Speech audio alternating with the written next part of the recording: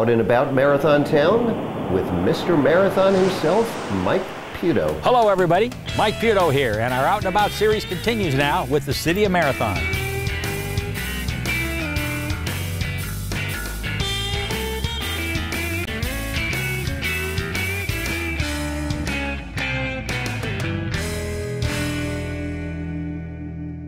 Hello, everybody. Mike Puto an Out and About Marathon Town. And this morning we're talking to Pete Worthington, who's also a commercial fisherman here aboard the Lady Mary 5.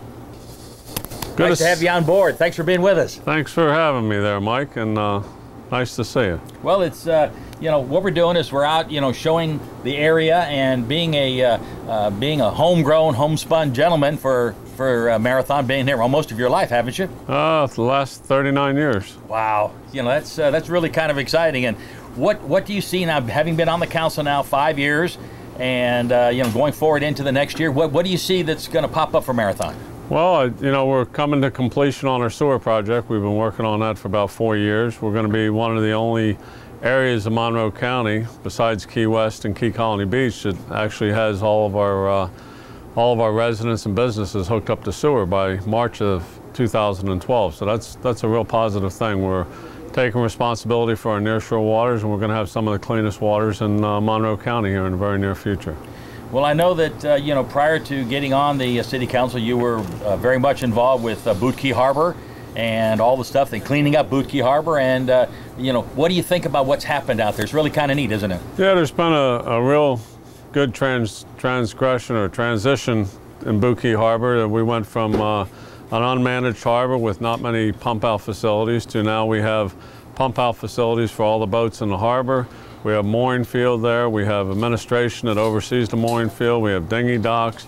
We're providing services to the boaters that come in and visiting boaters that come in. It's uh, really a great place. It's one of the most protected, safe anchorages on the whole east coast of the United States and uh, the largest mooring field, I believe, also on the east coast of the United States. So it's it's doing real good compared to what we had there 12 years ago. It's come a long ways, and it's one of the uh, one of the most sought after uh, places for boaters to come to in the Florida Keys. Well, as Marathon looks to becoming a port of entry, that's going to play a big role in the harbor, isn't it? Oh yeah, absolutely. It's uh, going to be a port of entry for cruise into the Bahamas and to uh, further Grand Caymans, possibly Cuba in the near future. Yeah, there's going to be a lot of positive things as far as Marathon being a port of entry. Now, I've noticed at uh, one of our council meetings about a couple, two or three weeks ago, where uh, the Faro Blanco project got approved, and they're starting to move forward as they did with uh, the Holiday Inn project here at the north end of town. And uh, what, what do you see as the future for the West End there? Think it's going to start jumping and hopping? Oh yeah, Faro Blanco's used to be one of the premier destination resorts in Marathon, and it's been uh, it's had some problems redeveloping over the last seven or eight years, but I think they're on their way to becoming a, a Hyatt, and uh, it'll be a great trade name to have, and and it's uh, it's going to be a very positive uh, influence for Marathon. It's going to be a, a, definite boost for the economy here and produce a lot of jobs and uh, be a great place for relatives to come stay when they come down and visit you instead of staying in my spare bedrooms. I think that's great. And uh, how long have you, now that we're on, on, board your vessel here, how long have you been a commercial fisherman pulling lobsters and stone crabs and that kind of stuff? How long have you been doing this? I've been doing about 37 years, lobster fishing 37 years. I did stone crab and I got out of that two years ago, but primarily I lobster fish and I do a little bit of charter fishing when I'm not lobster fishing. It's uh, about 37 years on the lobster, about 32 years on the charter fishing.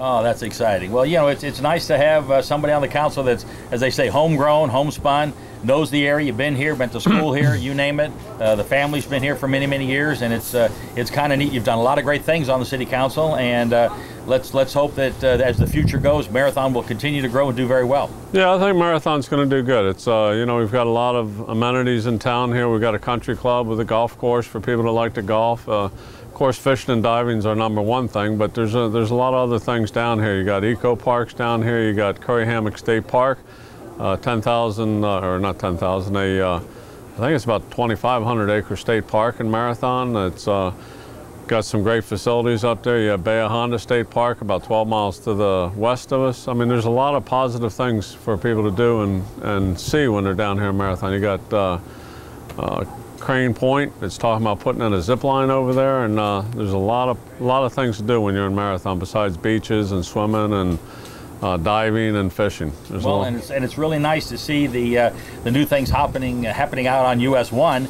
With uh, of course, you know the roads being paved, and they're going to put the final layer on sometime in the next couple, three or four weeks. And you're also looking at new traffic lights and new street lights. So there's a lot of a lot of positive things popping up. No doubt about it. Yeah, the infrastructure is uh, really improved. We've uh, done road overlays in all Marathon.